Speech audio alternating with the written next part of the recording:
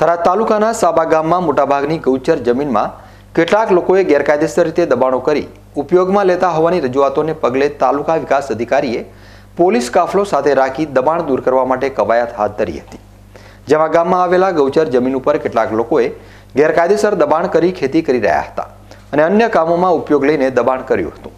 તેથી ગામ લોકોની વારંવાર રજૂઆતો કરવામાં આવતા આજે થરાદ તાલુકા વિકાસ અધિકારી અનિલભાઈ ત્રિવેદી, તાલુકા પંચાયતના કર્મચારીઓ તેમજ પોલીસને સાથે રાખી સાબા ગામે પહોંચી ગયા હતા અને દબાણ ઝુંબેશ હાથ ધર્યું હતું. જોકે સાબા ગામમાં લોકોએ ચાલીસ હેક્ટરથી વધુ જમીનમાં દબાણ કર્યું હતું.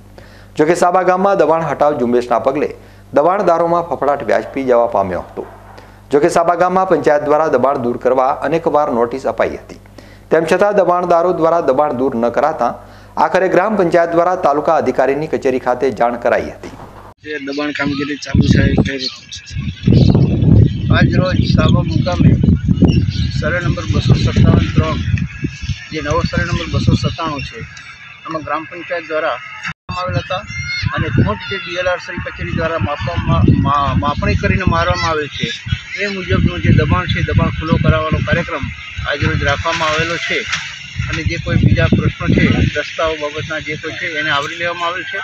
અને ખેડૂતોએ જે બિનઅધિકૃત રીતે દબાણ કરેલ છે ખેતીની જમીનનું એ આજે ખુલ્લું કરાવવામાં આવશે. સાહેબ અંદાજે કેટલું દબાણ હશે? કેટલા એકર હશે અંદાજે?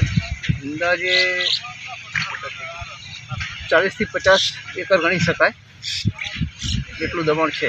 દબાણ ખુલ્લું કરીને પછી એમના પ્રત્યે કોઈ કાર્યવાહી કરવામાં દબાણ ખુલ્લું કરીને દબાણદારોને ગ્રામ પંચાયતને અમે સૂચના આપી છે અને ગ્રામ પંચાયત એ લોકોને અલાયદા નોટિસ આપશે કે ફરીથી આ જગ્યા ઉપર દબાણ કરવામાં આવશે તો તમારી સામે કાયદેસરની કાર્યવાહી કરવામાં આવશે.